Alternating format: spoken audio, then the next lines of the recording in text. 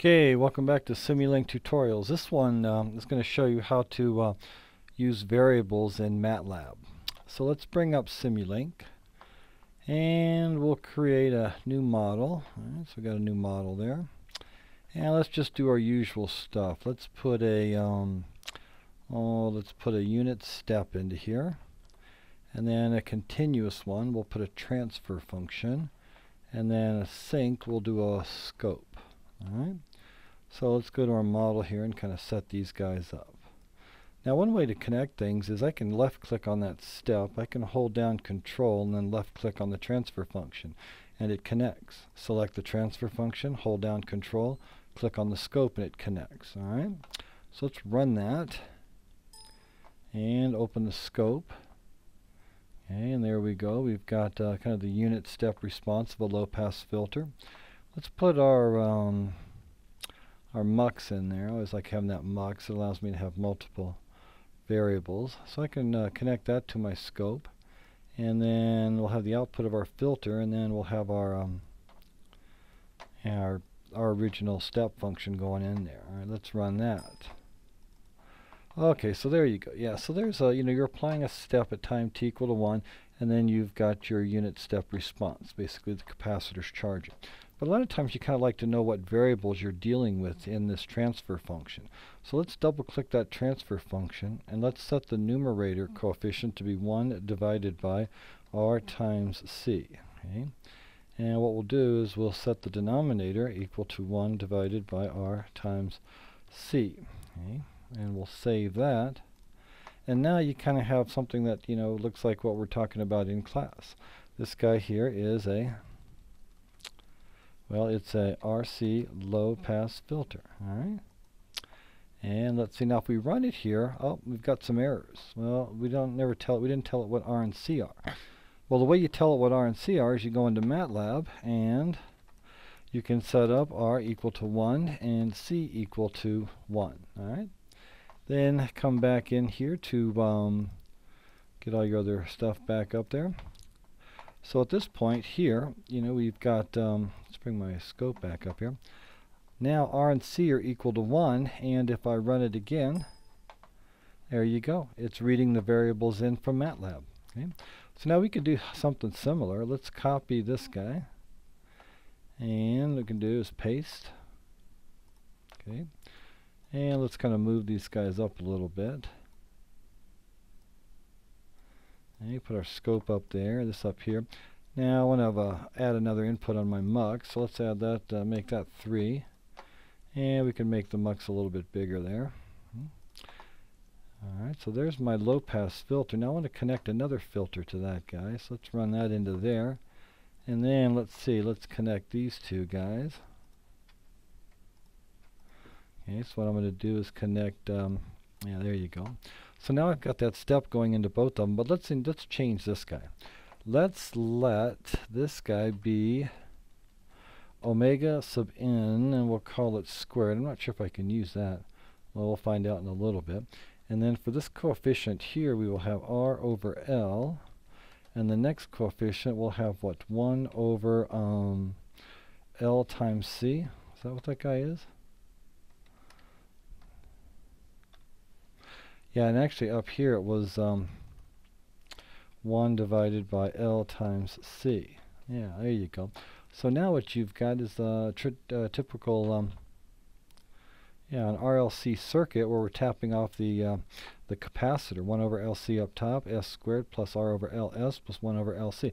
Now we don't have an L, so we got to go back in here and we have to define an L. We'll set that equal to uh, 1 and then of course up here in your workspace you've got C equal to 1 L and R equal to 1 okay. so let's uh, bring back up all the pieces of the puzzle here. And let's see. This point let's go ahead and run it and see what happens. Yeah so there you go. The yellow is the unit step alright so we can kind of double click. You can actually double click this connection and label it yellow I can double click this connection and uh, give it a label of what's that purple and we can double click this guy down here and that would be uh, what's that like a blue or something There you go. So that way you can kind of remember. But if you look over here, you applied the unit step, and the low-pass filter kind of showed that capacitor charging up.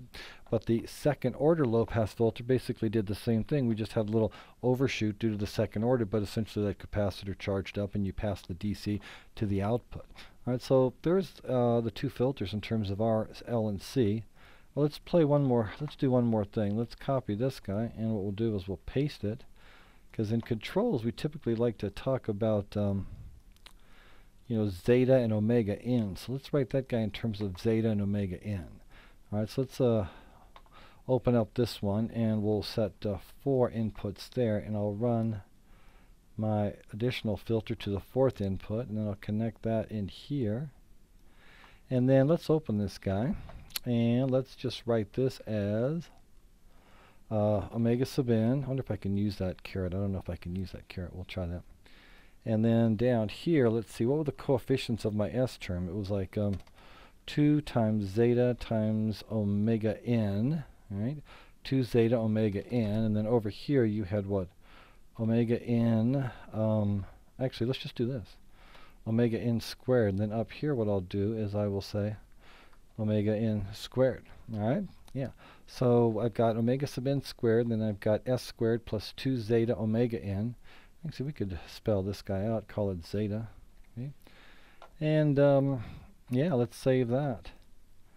And I'll need to uh, make this a little bit bigger to read all those. But, yeah, there's the transfer function we have in class. Omega sub n squared, s squared plus 2 zeta omega sub n, s plus omega sub n squared. But of course I have to go to MATLAB now and um, set up my omega sub n. Well, let's let that equal to 1, and then let's come down to here and say, let's set zeta equal to 1, all right? And come back down to here and run this guy. And let's see what happens. And that would be the red one, all right? So let's put red here. Now what's the difference? Actually, I think the difference is 1, 1. Yeah, I actually have a 2 down here. The only difference between the RC low-pass filter and the RC low-pass filter 2, the um, zeta, is my coefficient on S is 2. I just increased it. And if you notice what happened from the blue to the green by increasing that coefficient on S, we got rid of our overshoot. But I think if to get that overshoot back, what you can do is uh, decrease zeta. Well, let's try that. Let's go back to this guy right here and what we'll do is we'll change a value of zeta. Let's make it equal to uh, about 0.5. Okay? And then bring our models back up. So now zeta, well actually that's going to give me the same thing, isn't it? Because, yeah, that should give me the same thing as the previous case. And it does. So now the um, red and the blue are overlapping because RLC are 1, 2 zeta omega sub n are 1. Alright, let's go back and make zeta even smaller let's set zeta equal to uh, 0.1 here and see what the effect of that is. Okay, so now I'm going to have 2 times 0.1 omega n, so 0.2 down here as opposed to 1 up here. Yeah, so as we start decreasing zeta, we get that oscillation. Now it's eventually going to end up steady state to uh, 1, but it's oscillating and it's taking its uh, sweet time about getting it. And uh, notice the overshoot's getting really big. Let's go ahead and decrease it a little bit more and, and see what happens. It was at 0.1. Well, we'll make it a uh, zeta equal to 0 0.5, or actually 0.05. We'll kind of split it in half there. And now when I run this, what does that third one do? Yeah, it's just even more overshoot. Yeah, zeta gets smaller, you get more and more overshoot. Okay. Now what about zeta equal to 0? That'd be interesting. Yeah, see, notice how this sine wave, it, it is decaying because the peak up here is about, uh, what, 1.8. The peak right here is just a little over 1.5. Let's set that zeta equal to 0 and see what the effect of that is. Okay. And let's run over here, set zeta equal to 0. So now at this point, I don't have any s term. I have s squared plus omega sub n squared. Well, the poles of that are going to be s plus and minus j omega sub n, so they're going to be on the imaginary axis. Well, let's run that and see what happens. Now, if you look at this, um, yeah, look what's happening. It's not getting attenuated. And if we increase our time base, let's increase our time base maybe to go to 20 here. I'll change that to 20 seconds and run it again. Well, what you've got is an unstable system down here. You applied a DC input to a system with this transfer function.